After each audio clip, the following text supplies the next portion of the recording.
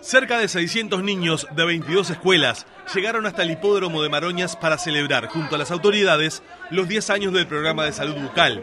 Durante esta década, el programa lleva atendidos a unos 64.000 niños de escuelas públicas de Montevideo y del interior. Alguien podría llegar a pensar que las caries es un problema local y que queda reducido a la boca, pero en verdad las bacterias que viven en la boca tienen la capacidad de colonizar válvulas cardíacas, riñones, por lo tanto pueden generar enfermedades graves. Por lo tanto, el buen estado de la salud bucal hace al buen estado del organismo. Actualmente trabajan cerca de 100 odontólogos en el plan, pero será necesario más profesionales.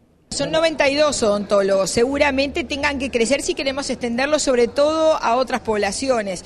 Quizá haya que pensar que en el futuro haya que, que también este, extenderlo a población adolescente, ¿verdad? En liceos y ahí se necesiten muchos más, no solamente odontólogos, sino también higienistas, asistentes dentales. En el acto estuvo presente la madrina del programa, María Auxiliadora Delgado, también Rubén Rada y la ex ministra María Julia Muñoz.